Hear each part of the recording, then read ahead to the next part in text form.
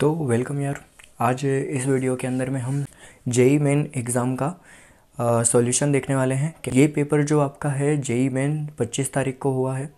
सत सातवां महीना जो कि जुलाई 2022 का पेपर है। शिफ्ट टू का है, ठीक है? और इसके अंदर में हम सिर्फ़ केमिस्ट्री का सॉल्यूशन देखने वाले हैं। तो आपके जेई मेन एग्ज़ाम के अंदर में जो केमिस्ट्री के क्वेश्चंस थे, उसका सॉल्यूशन आप यहाँ पे देखोगे। पहला क्वेश्चन जो है, वो है which of the following is herbicides herbicides का मतलब होता है हर्ब को किल करने वाला। हर्ब मतलब जो छोटे छोटे प्लांट्स होते हैं, उनको किल करने वाला एलिमेंट तो इसका ऑप्शन में दे रखा है डीडीटी अल्डेनिन और सोडियम आर्सेनाइट एंड डीहाइड्रिन तो इसका आंसर आ जाएगा option number C sodium arsenite is the correct answer now the question number two micelle formation is micelle क्या होता है कि जो आपका सोप एंड डिटर्जेंट के अंदर में हाइड्रोफोबिक और हाइड्रोफिलिक का स्ट्रक्चर बनता है गोल सा ऐसे स्ट्रक्चर होता है उसको बोलते हैं मिसेल है ना? यहाँ पे डायग्राम में दे देता हूँ आपको जैसे कि आप देख सकते हो। डायग्राम आपको क्वेश्चन में दिया हुआ नहीं था मैं बता देता हूँ आपको। आ, इसके अंदर में दे रखा है कि इस पर्टिकुलर मिसेल फॉर्मेशन के अंदर में आपका जो मिसेल फॉर्मेशन है, वो कौन सा रिएक्शन होगा? तो एक्जोथर्मिक जहाँ पे डेल्टा एस जो है, वो ज़ीरो से ज़्यादा होगा। एंडोथर्मिक जो डेल्टा एस ज़ीरो से कम होगा। एक्जोथर्मिक डेल्टा एस ज़ीरो से कम और एंडोथर्मिक डेल्टा एस ज़ीरो से ज़्यादा। इसका ऑप्शन नंबर डी करेक्ट होगा। एंडोथर्मिक होगा और डेल्टा एस जो है, वो डी मतलब जो ज़ीरो से ज़्यादा होगा, ठीक है? Now the question number three question number three के अंदर में दे रखा है glycosidic linkage between alpha glucose and beta फ्रुक्टोजिन तो ग्लाइकोसिटिक बॉन्ड जो होता है, किसके बीच में होता है? Alpha glucose and beta fructose जो कौन से पर्टिकुलर डाईसेकेराइड ओलिगोसेकेराइड बोलते हैं जिसको, इसके अंदर में प्रेजेंट होता है। तो दो ग्लूकोज का स्ट्रक्चर होता है, उसको हम बोलते हैं ओलिगोसेकेराइड। और जिसके अंदर में हमारा ग्लूकोज और फ्रुक्टोज के कॉम्बिनेशन से बनने वाला जो एलिमेंट है, उसको आपको बताना है, ठीक है?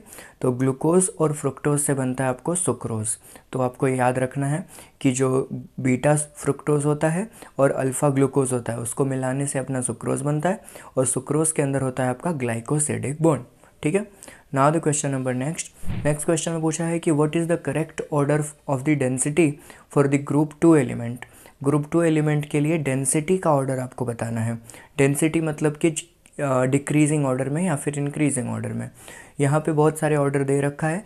आपको इसमें से चूज़ करना है राइट right वन तो इसका राइट वन आंसर होगा आपका ऑप्शन नंबर डी सबसे ज़्यादा डेंसिटी होगा यहाँ पर स्क्रेंडियम का, फिर होगा बेरेलियम देन मैग्नीशियम और लास्ट में आ जाता है कैल्शियम तो कैल्शियम का जो डेंसिटी है वो सबसे कम होगा यहाँ पे.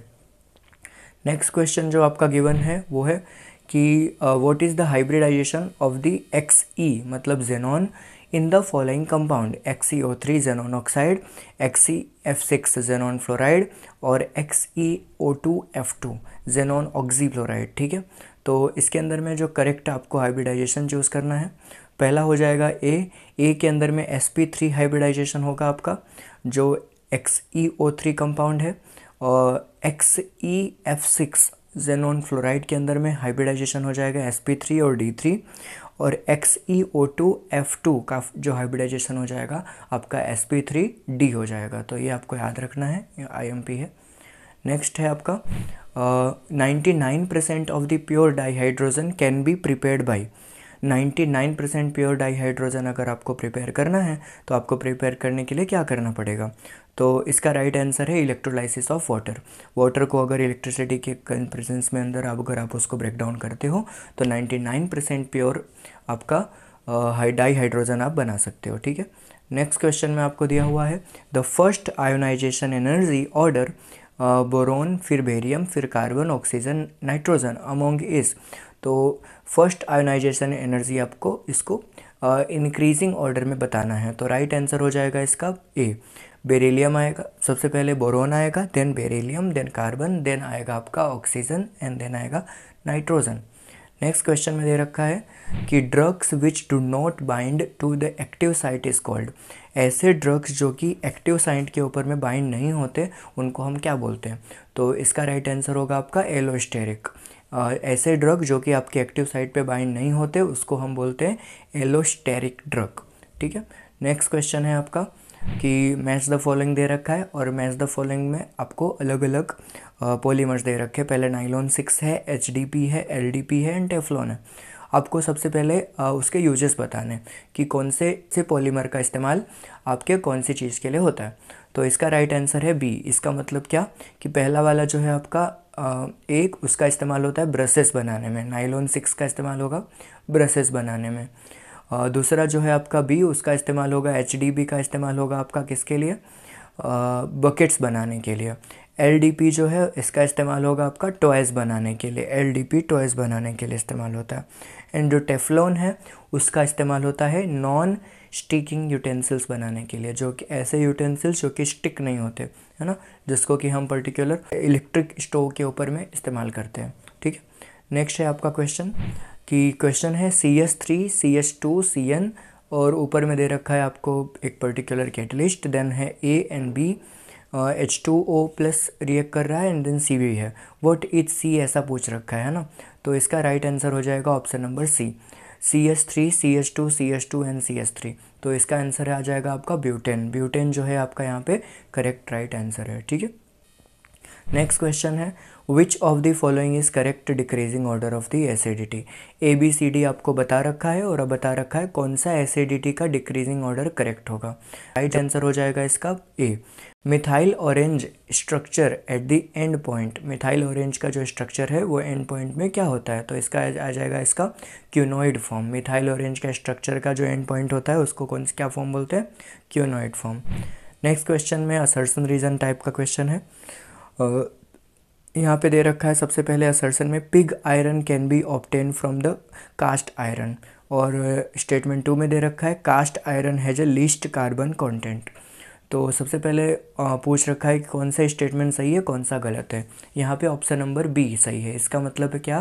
कि दोनों दोनों के दोनों जो स्टेटमेंट वन है और स्टेटमेंट टू है both are the incorrect pig iron जो है वो कास्ट आयरन से नहीं बनता और कास्ट आयरन को, के अंदर में लिस्ट कार्बन का कंटेंट भी नहीं होता। ठीक है? नेक्स्ट क्वेश्चन के अंदर दे रखा है find the magnetic moment in the M two plus है ना? Which has the negative particular reduction तो तो ऐसे कंडीशन में जो इसका आंसर हो जाएगा आपका 4.9 और यहाँ पर जो सॉल्यूशन है, आपको गिवन है तो आप इसको सॉल्व भी कर सकते हो। ठीक है? नेक्स्ट क्वेश्चन में है आपका। Question number next X E O three X E F six and X E O two F two sum of the lone pair central atom is तो इसके अंदर में लोन पेयर कितना होगा सेंट्रल एटम में, ऐसा पूछ रखा है। तो इसका राइट right आंसर हो जाता है आपका थ्री इसका मतलब क्या है कि एक्स ई ओ थ्री और X E F six and X E O two F two के अंदर में एक एक लोन पेयर है तो इन तीनों को मिला करके तीन लोन पेयर हो जाएँगे। तो ये इसका सॉल्यूशन है। ठीक है?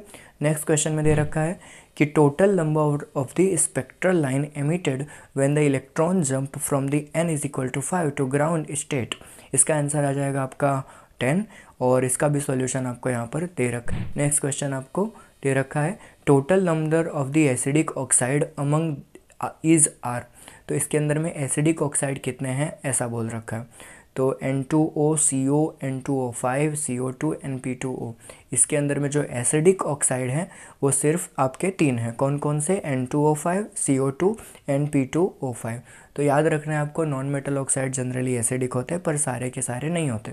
यहाँ पे सी ओ और एन टू ओ जो है, वो है आपके न्यूट्रल ऑक्साइड तो एसिडिक ऑक्साइड का राइट आंसर आ गया आपका। ठीक है? 2022 का जो जेई का केमिस्ट्री का पेपर का सॉल्यूशन है, वो आपका एंड होता है यहीं पर। तो हम मिलते हैं नेक्स्ट वीडियो में। नेक्स्ट वीडियो के अंदर में आपको मैं 2023 का केमिस्ट्री का पेपर जो कि आज ही हुआ था, इसको मैं सॉल्व करा के इसका सॉल्यूशन आपको बता दूँगा। तो कल तक में वो वीडियो अपलोड हो जाएगा। तब तक के लिए stay tune thank you for watching the video